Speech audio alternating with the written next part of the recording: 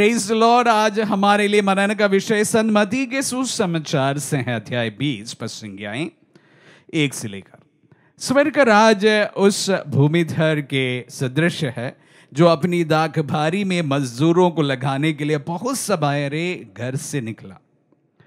उसने मजदूरों के साथ एक दिनार का रोज़ाना तय किया और उन्हें अपनी दाख बारी बीजा लगभग पहले पहर वह बाहर निकला और उसने दूसरों को चौक में बेकार खड़ा देखकर कहा, तुम लोग भी मेरी दाखबारी जाओ, मैं तुम्हें उचित मजदूरी दूँगा। और वे वहाँ गए। लगभग दूसरे और तीसरे पहर भी उसने बाहर निकलकर ऐसा ही किया। वह एक घंटा दिन रहे, फिर बाहर निकला और वहाँ दूसरों को खड़ा देकर उनसे बोला तुम लोग यहाँ दिन भर क्यों बेकार खड़े हो?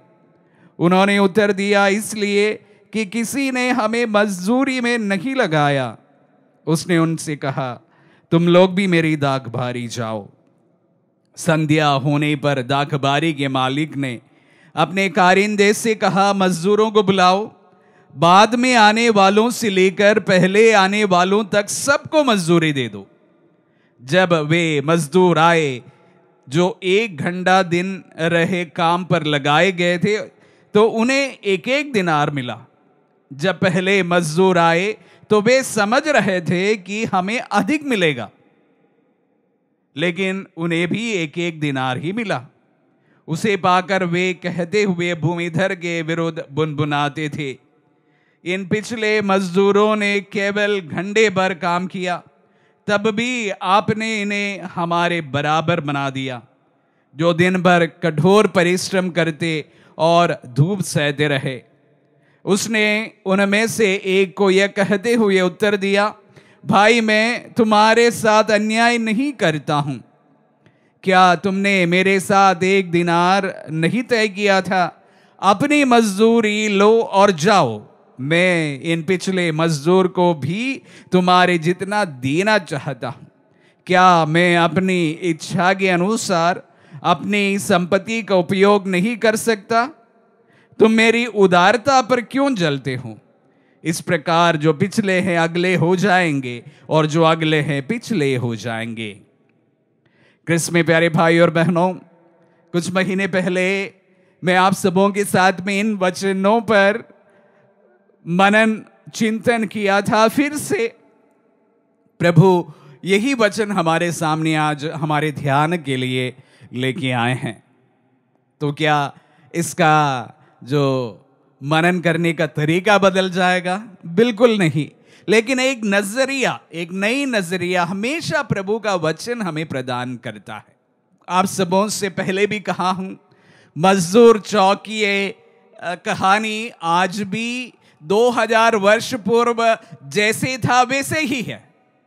मजदूर चौक पर आप चले जाओगे, आप सुबह से लेकर शाम तक वहाँ पर लोग खड़े आपको दिख पाएँगे। सुबह जाओगे तो बहुत सारे लोग, दोपहर जाओगे तो उससे कम लोग, और शाम चार बजे भी जाओगे, वहाँ पर लोग खड़े मिलेंगे। वे उन लोगों के प्रतिरूप है जिन्हें उस दिन काम कुछ नहीं मिला। प्यारे भाई और बहनों, वचनों को सुनते समय अक्सर लोग यही पूछते हैं कि क्या प्रभु पक्षपात करता है? जो एक ही घंटा काम किया, उन्हें भी एक दिनार मिला। जो लगभग आठ घंटे काम किए, उन्हें भी एक दिनार ही मिला। शायद हमारी नज़रिए में, हमारी दृष्टि में यह पक्षपात जैसे हमें लग सकता है। लेकिन एक अलग नज़रिया भी है कि प्यारे भाई और बहनों, जो आठ घंटे काम किए, जो एक घंटे काम किए, दोनों को बराबरी का जो व्यय होता है। जो आठ घंटे काम किया, उनको भी उतने पैसे की ज़रूरत है। जो एक घंटे काम किया, उन्हें भी उतने पैसे की ज़रूरत है। दोनों को अपना घर जो पालना है। तो शायद प्रभु की जेनरोसिटी प्रभु का विचार हम यहाँ पर देखते हैं जिसके बारे में विस्तृत रूप से मैं पिछली बार बताया था आज मैं एक नई और सोच आप सबों के सामने रखना चाहूँगा वो ये है प्यारे भाई और बहनों अक्सर हम हम लोगों को जज करते हैं बेबुनियाद तरीके से हम लोग बड़े हार्श रूप से रूडली लोगों पर जज करते हैं अक्सर हम ये जानने की कोशिश नहीं करते हैं कि व्यक्ति किस प्रकार के हालातों से गुजरते हैं। उनकी परिस्थिति कैसी है उनके आ, हालात कैसे हैं उस पर हम जरा भी नज़र नहीं डालते हैं। हम हमारी नज़रिए से सबको जज करते हैं। जैसे आज के वचनों में जज किया गया है। यहाँ पर आठ घंटे जो काम किए उन्हें भी, और जो एक घंटा जो काम किया उन्हें भी एक नज़र से जज करने की हमारी जो कोशिश है। प्यारे भाई और बहनों, ये वही स्वभाव है जहाँ पर हम लोग सबको यूँ ही उनके परिस्थितियाँ ना जानते हुए भी जज कर बैठते हैं।